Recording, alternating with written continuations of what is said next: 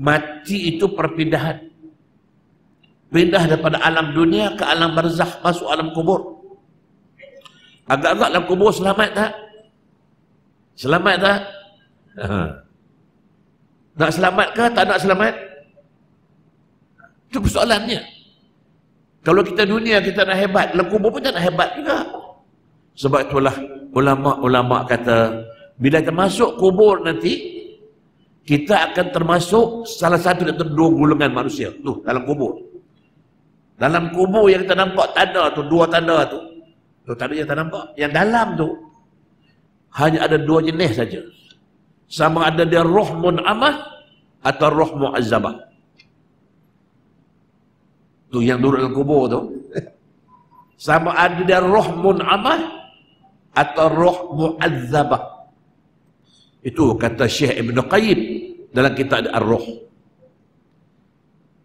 Kalau kita nak masuk dalam kumpulan roh mun'amah, ialah manusia yang hidup alam barzakh dalam suasana mendapat nikmat. Dia panggil roh mun'amah. Pasal apa dia mendapat nikmat? Sebab dia boleh menjawab soalan mungkar nakir. Bila jawab soalan mungkar nakir, semua soalan dia boleh jawab maka dia hidup dalam suasana mendapat nikmat daripada Allah Subhanahu wa taala. Macam mana cara dia? Wallahu alam. Tapi dia hidup mendapat nikmat. Kalau soalan muka nakir tak boleh jawab maka dia akan diseksa dia akan diazab dia akan dipukul. Maka dia dinamakan roh muazzabah roh yang diseksa. Baik. Jadi dua. Tu yang dalam kubur tu kita tak tahu. Pernah Nabi Rasulullah sallallahu alaihi wasallam bila jalan dia tahu kubur ni diseksa. Kubur ni mendapat nikmat. Nabi tahu. Nabi tahu. Pernah satu kali Nabi dengar sahabat dalam kubur ada dua kubur. Nabi kata inna hadzani la yu'adzibani. Nabi kata ni dua orang ni sedang diseksa kata Nabi. Nabi tahu. Inna hadzani la yu'adzibani. Ni ni dua ni sedang diseksa. Pasal apa diseksa? Yang pertama kata dia la yastatiru min baulihi. Kalau nak kencing main pancut aja. Jaga sikit. Nak buang air kecil apa kena beradab. Jangan main pancut cari tembok pada pokok pancut. Nampak tembok pancut pada pokok pancut. Hadza la yastat min baulihi. Ini kerana bila dibuang air kecil tak beradab langsung. Yang satu lagi ini wahada yamshi bin namimah suka mengupat mengatawa bila seksa. Yang penting tuan-tuan kita masuk kubur sama ada kita akan termasuk golongan roh mun'amah atau roh mu'azzabah. Nak masuk roh mun'amah ialah kita kena sedia jawapan untuk soalan muka nakir. Apa dia persediaannya? Amal ibadat kita. Ha, macam tuan-tuan perempuan depan saya ni, insya-Allah lah jangan bimbang lah ya. Macam tuan-tuan perempuan saya tahu tuan-tuan orang sembahyang ni, orang ibadat semua ni. Ya. Kalau tuan-tuan bukan orang ibadat tak mari duduk sini ni. Tuan-tuan, perempuan inilah orang-orang yang insya-Allah bila tuan-tuan masuk kubur nanti, saya yakin tuan-tuan boleh jawab soalan muka nanti. Saya yakin. Sebab amalan tuan-tuan banyak, ibadat tuan-tuan banyak, pahala tuan-tuan banyak. Yang nak jawab soalan, pahala dia, kita bukan mulut kita. Yang nak jawab pahala kita, amal ibadat kita. Masuk kubur nanti, bila datang muka nanti, man rabbuka? Eleh. Soalan macam tu pun, Allah tuan-tuan boleh jawab. Ya. Yeah. Kalau inilah orang-orangnya, inilah orangnya, saya yakin tuan-tuan puan pun boleh jawab soalan. Pasal apa? Tuan-tuan sembahyang. Bila tuan-tuan semayang, semayang tu dah pahala.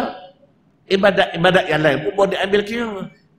Dengar ceramah ada pahala, sedekah ada pahala, derma ada pahala, puasa ada pahala.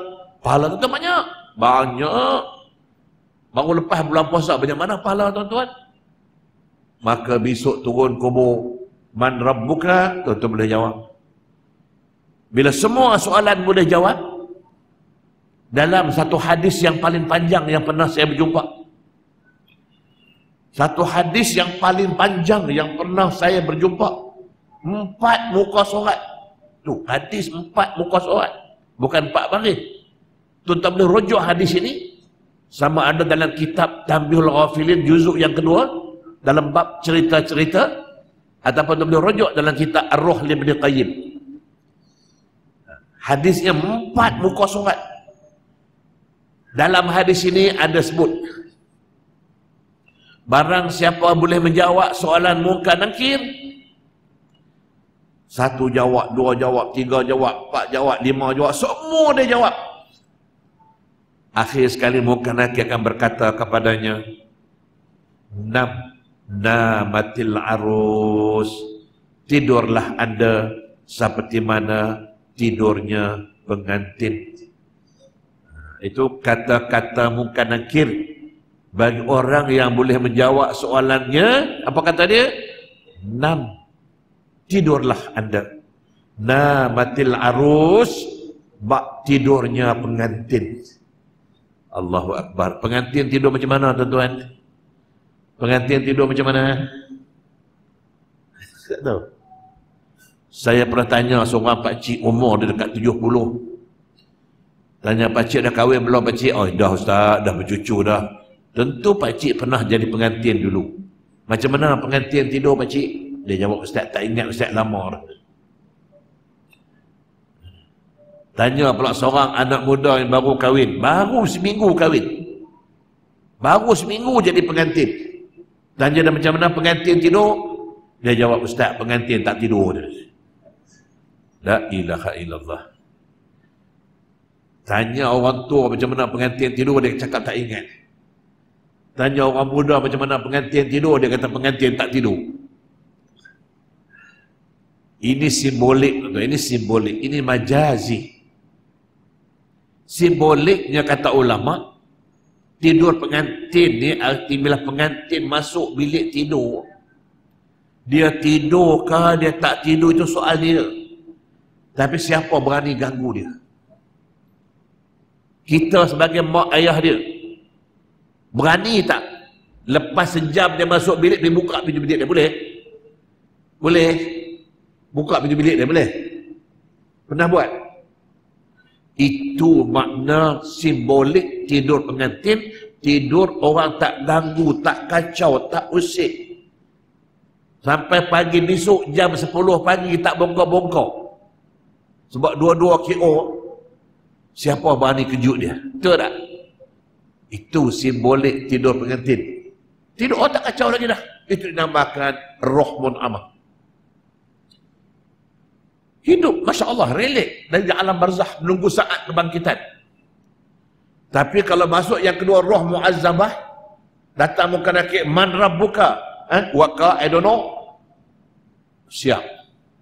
Biar kalau begitu, kalau nak selamat dalam kubur, sedia pahala banyak-banyak. Simpan pahala banyak-banyak. Dan pahala akan bergantung dengan ibadat salat. Sempurna salat kita, pahala pun ada. Tak sempurna salat kita, ah, susah sikit lah tuan